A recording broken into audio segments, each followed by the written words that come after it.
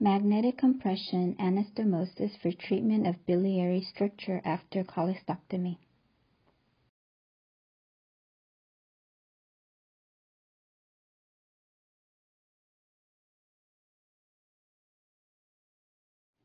Post-cholecystectomy biliary stricture can be treated endoscopic or percutaneous treatments. However, these conventional methods are not feasible if a guide wire cannot be passed through the stricture. Magnetic compression anastomosis could use for the treatment of biliary stricture. A 60-year-old female who had undergone laparoscopic cholecystectomy due to gallbladder stone one week ago presented with upper abdominal pain. Abdominal CT showed that the moderate amount of right perihepatic biloma collection. During ERCP, cholangiogram showed that there was bile leakage on the surgical clip. A fully covered self-expandable metallic stent was inserted to resolve bile leakage. An abdominal CT one week later showed that an increase in the amount of biloma in the perihepatic space and the surgical site. Percutaneous catheter drainage was performed to resolve biloma. Follow-up abdominal CT confirmed that the biloma was resolved. After percutaneous catheters removal, MRCP was performed. In MRCP, there was an iatrogenic obstruction of the right intrahepatic duct on the surgical clip. Right intrahepatic duct lip separated, and it was related with the underlying congenital variation of insertion of right intrahepatic duct to the extrahepatic duct.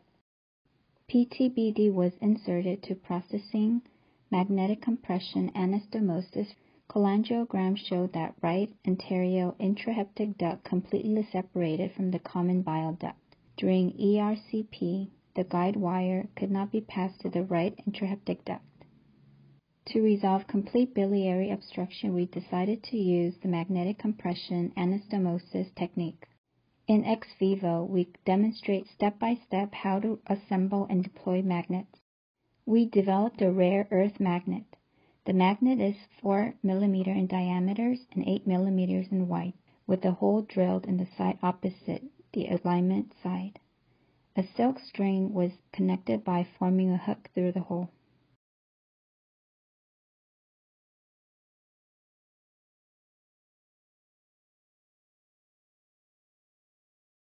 The silk string attached to the magnet was grasped with endoscopic snare.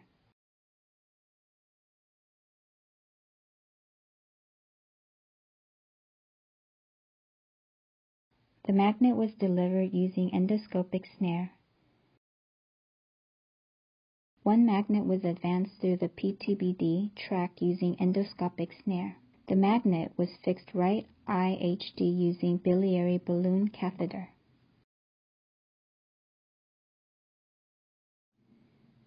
A retrieval fully covered, self-expandable metallic stent was inserted into the distal common bile duct. It facilitated the insertion of magnet across the papilla, and the other magnet was delivered through the metallic stent and common bile duct using endoscopic snare.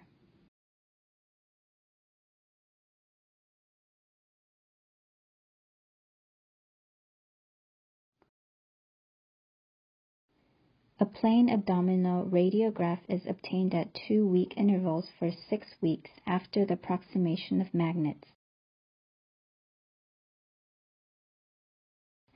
After six weeks, the magnets were successfully approximated. This is the magnet removal process through the PTBD tract. The approximated magnet was removed through the PTBD tract using a grasping forceps.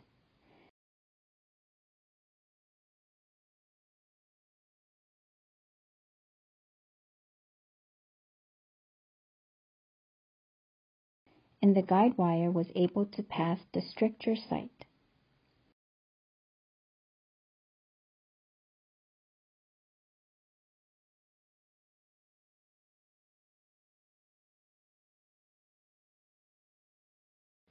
The recanalized fistula was confirmed.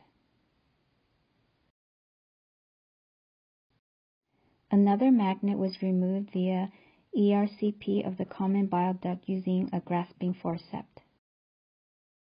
A fully covered self-expandable metallic stent was inserted at the recanalized site for maintain the new fistula tract, and it was exchanged every three months for six months. After six months, the metallic stent was removed. Cholangiogram showed the complete resolution of biliary stricture. The patient is under outpatient follow-up visits without specific symptoms and recurrence. In conclusion, conventional methods have limitations to treat severe biliary stricture or complete biliary stricture. Magnetic compression anastomosis may be useful in treating the complete biliary stricture after cholecystectomy.